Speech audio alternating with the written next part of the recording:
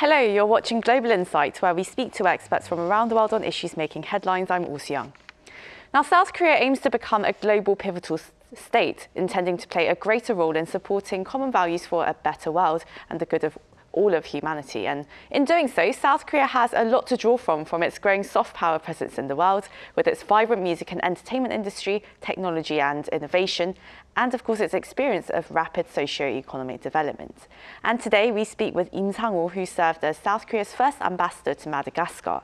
And his passion for Madagascar's people and their future went beyond the usual outreach and engagement. He became a pioneer for South Korean diplomacy, uh, putting South Korea's global pivotal state vision into practice even before it was formulated. And his efforts to set up the country's first diagnosis centre for COVID-19, increase food and medical supplies, and also stage football matches, K-pop concerts and even elections have been recognised by the country and the global community.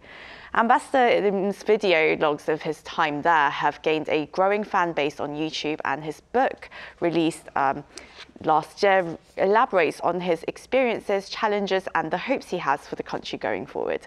And it's wonderful to have you in our studio today, Ambassador. Thank you so much for joining us. Well, thank you. Thank you for inviting me. Thank you. Oh, yeah, and your book, uh, it funny because you really don't even have to read the book to sense your passion for Madagascar, your heart for its people, and uh, you can really see why the people there really appreciated your efforts uh, while you're ambassador. And well, it's quite significant as well because you were South Korea's first ambassador to Madagascar. So, um, what was that experience like? Yes, uh, well, every day was really a great honor to serve as the first uh, Korean resident ambassador to Madagascar. And I think one of the reasons why the Malagasy people welcomed my arrival with uh, so much enthusiasm was uh, because they could see in Korea that their dream of national development was not just a dream, but could actually uh, become a reality, just like uh, it did for, for us.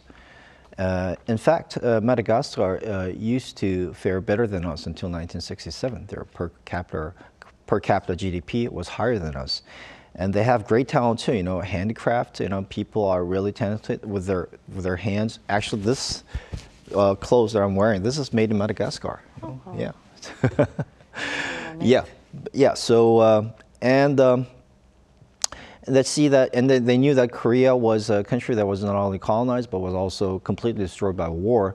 But uh, you know, rising from the rebels of war, become the world's tenth largest economy was really a, kind of like a source of inspiration for the Madagascar people.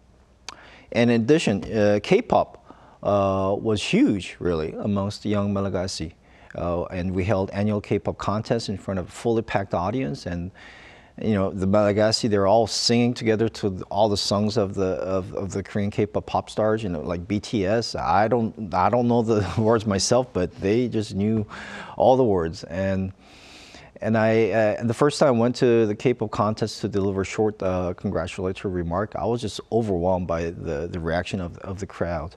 Well, Madagascar is, of course, uh, very well known for its beautiful uh, natural environment. And, uh, well, at the same time, though, it has uh, the most vulnerable population in Southern Africa, uh, with four out of five people living below the poverty line. And, well, what are the major humanitarian crises that they face? Yes, uh, as you said, Madagascar is really a beautiful country, uh, home to a lot of unique flora and fauna. Uh, for instance, the baobab tree originates from Madagascar, and also the lemur, uh, which was actually a King Julien in the animated film Madagascar, can all be found in that country. But on the other hand, it is uh, one of the most impoverished countries in the world, with uh, about 78% of its 27 million people living under the poverty line, which is now set at 2.15 US dollars per day. And the southern part of Madagascar is where the country suffers the most, with an estimated uh, million people suffering from malnutrition. The embassy in Madagascar is not South Korea's largest, you know, um, diplomatic mission abroad, but still you tried your best and did what you can to really help with the humanitarian projects there. So uh, could you elaborate on some of the efforts you were involved in? Yes, of course. Uh, we, we try to uh, launch uh, various uh, humanitarian projects uh, with various organizations in, in Madagascar. And uh, for instance, we launched a project in the southern part of Madagascar to alleviate the malnutrition situation, for instance. also, you know, the biodiversity of Madagascar also was, is in great danger. And that also was one project that we launched. This, uh, I, th I, think this video that we're watching now is uh, my, uh, my uh, when I led the expedition team with uh, the World Food Program in Madagascar. Oh. So this is actually the southern part of Madagascar, and uh, we were looking into seeing what how, what we can do uh, if Korea pairs up with uh, WFP, and that's actually, that's like uh, that's a, a fisheries village in the southern part of Madagascar, and they actually, uh, well, yeah, they they they're very, uh, even though the, the the suffering there is is really uh, unimaginable. You know, they they are very kind people. You know, and and they they came out to really uh, welcome us, and uh, this is actually a school and we're trying to provide uh, the basic uh, nutrition that the kids need. In, and that's a school canteen over there in Madagascar, uh, in the southern part. This is actually uh, another project that I launched uh, with uh, UNICEF. this is to protect the biodiversity, the, the national forest there. And because of the, the, the poverty, people are resorting to these forests. You know, they, they have no other uh, option but to uh, cut down the trees and, and hunt the animals. So what we're trying to do, this is me uh, talking with the local community, uh, with our experts. What we're trying to do through this program is to empower the local communities so that they could get, get a source of income by becoming like, tourist guides or managers of the national parks. This is the this is a park in the in the northeastern part of uh, northwestern part of uh, Madagascar, and and this is another project that uh, we launched uh, with uh, Dr. Choe Jae-chun, the well uh, world-renowned Korean scholar and expert on biodiversity. So he led an expedition with us into the northwestern part of, of Madagascar, and we did the same thing there, empowering the local community. Right, I see. And you gained quite a lot of uh, media attention during your time in Madagascar. And well, what do you think really makes Korea stand out from other developed countries uh, with presence in Madagascar, I suppose? Uh, how did this really affect your role as the Korean ambassador there as well?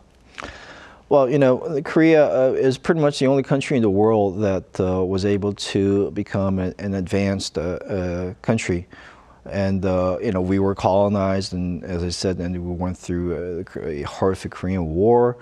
And that actually resonates with uh, with uh, people like uh, the, like the malagasy people because that's actually what they went through. So so we really know what they have to go through uh, and I, I, think we're the only advanced nation in the world that could say that we, you know, we were there uh, in your shoes and we know what it's like and we would like to ensure uh, how we were able to, to uh, develop our, our nation.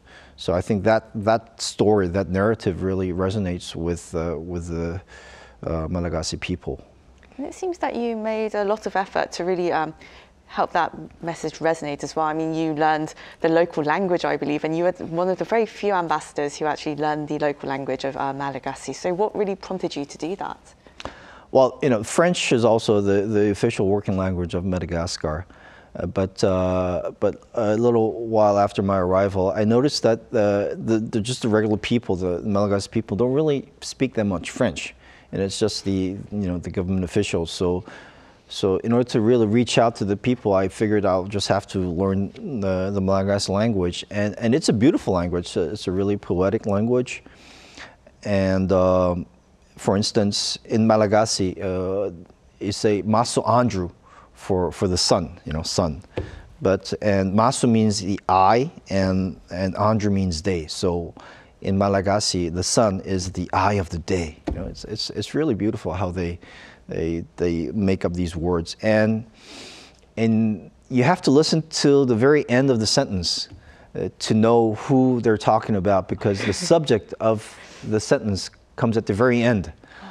So, so you have to listen, you know, very carefully. You really have to pay attention. Yeah. So it's a, it's a beautiful language. And, uh, and uh, the first time I tried to talk in the Malagasy, I, I, I started my speech, uh, the first paragraph, and then and then moved on to the to making the whole speech in Malagasy. And then the one time uh, at the uh, actually uh, after a while when I became you know, uh, when I became confident enough to talk in Malagasy, but you know basic Malagasy of course, uh, this uh, program called Starvent you, you, can see in, in the video now, the, it's like an entertainment program where they invite invite you know like you know people well-known people, and they invited me and I was the first ambassador to to talk with them uh, in this in this program. So so that was really uh, a, a, lot of fun, and uh, I was able to reach out to to the regular Malagasy people after uh, my appearance in this uh, in this entertainment program. Right, and well, you were on the national uh, TV, of course, but you were also um, really becoming something of a hit on YouTube as well. So, how did you start doing YouTube videos?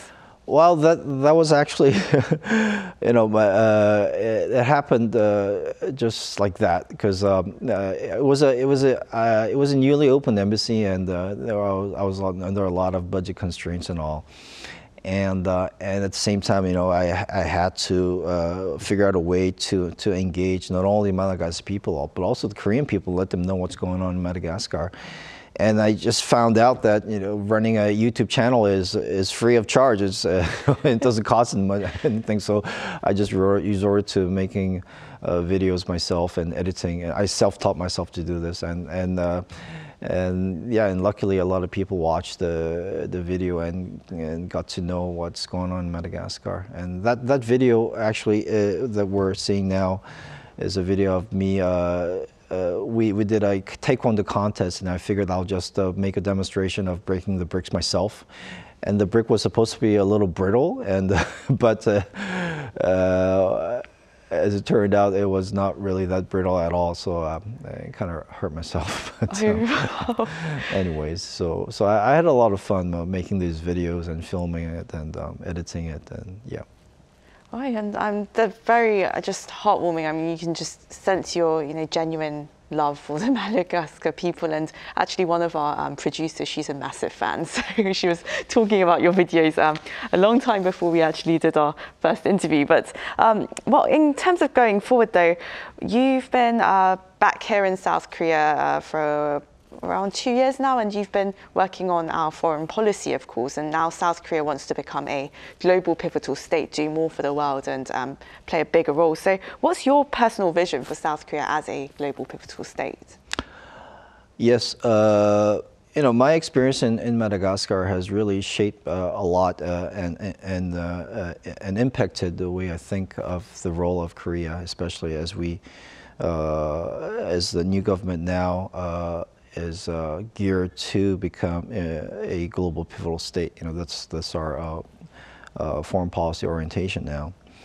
And I learned from Malagasy people how, you know, despite the sufferings that they had to go through, you know, they're really resilient. They're, you know, and I have the, the, the, the biggest respect for the Malagasy people, how, you know, they, you know, they keep bouncing back from, from these uh, challenges. And I think that's, that's what uh, Korea would like to do in in uh, in advancing uh, our uh, global pivotal state initiative to really support the people uh, in the world in and becoming more resilient to the challenges and and and overcoming the challenges and and uh, until very recently, we you know we our foreign policy was focused more on the Korean Peninsula itself, because you know we have the North Korean threat, of course, and you know we have uh, we have China, we have Japan, we have all the great powers here uh, on the Korean Peninsula. But uh, now we think that uh, it's uh, Korea can deal with what's happening here in our immediate neighborhood, but also go beyond and reach out to the to the to the world, and and take on a, a, a bigger role and bigger responsibility in uh, in contributing to to the freedom, uh, prosperity, and peace peace of the world, and that's uh, and that's pretty much the gist of our uh, global pivotal state uh, initiative. Right, and uh, in terms of reaching those goals, well you're currently working as the coordinator of the Indo-Pacific Strategy Task Force um, at the Foreign Ministry now. And well, what can we expect to see from Korea's own Indo-Pacific strategy? I mean, what are some of the key elements? Yes. Uh, we've been working on the, our Indo-Pacific strategy for quite a while. It's been about uh, seven, eight months now, and hopefully uh, we're at the last stage, and uh, we're planning to announce it uh, within uh, this year, so next week. and uh, it, it, lays out our, our vision to to implement our uh, GPS initiative in the Indo-Pacific region. As I said, there are three pillars, you know, the freedom pillar, peace pillar, and the prosperity pillar. And uh, we'd like to uh, work with our friends and, and, and partners and, and, and, pretty much anyone who uh, subscribe to, the, to this vision that, we, uh, that, we, that we're presenting. Uh, to work together. And so it's, a, it's an inclusive uh, strategy and uh, would like to build a long-lasting uh, relationship uh, based on trust. And uh, whatever we do has to be beneficial for, for everybody in the region. So that's those are the three principles that we're going to lay out in our Indo-Pacific strategy. And this is basically about you know sharing our experience, sharing what Korea was able to do with our partners and allies and partners and friends in the region. And actually, this uh, Indo-Pacific uh, strategy includes not only, uh, you know, uh, the ASEAN uh, Uh, and South Asia and Oceania uh, regions, but also uh, parts of uh, Africa. So we've included the African Indian Ocean region. So in that sense, we're going to be more focused on on you know, supporting the countries on the African continent as well uh, in, in reaching the, their goals of national development. Well, we're excited to hear the full details when the strategy is out. And mm -hmm. well, today, thank you so much for your time today, Ambassador. Thank you. Thank you so much. Thank, Thank you, you, so much.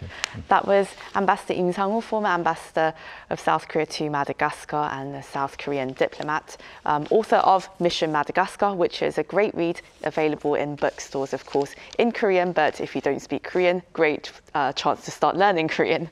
But anyway, thank you very much to our viewers for tuning in. Global Insight airs Monday to Fridays uh, at 9:30 a.m. South Korea time. Do tune in again. Thank you.